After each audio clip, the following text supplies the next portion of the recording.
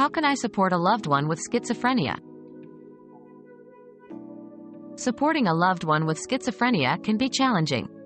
It's crucial to educate yourself about the condition, ensuring you can empathize and communicate effectively.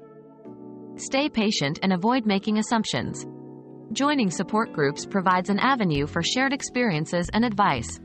Remember, it's not just about them. Self care is vital to keep yourself mentally and emotionally stable. Most importantly, seek professional guidance for both your loved one and yourself, ensuring a holistic approach to care.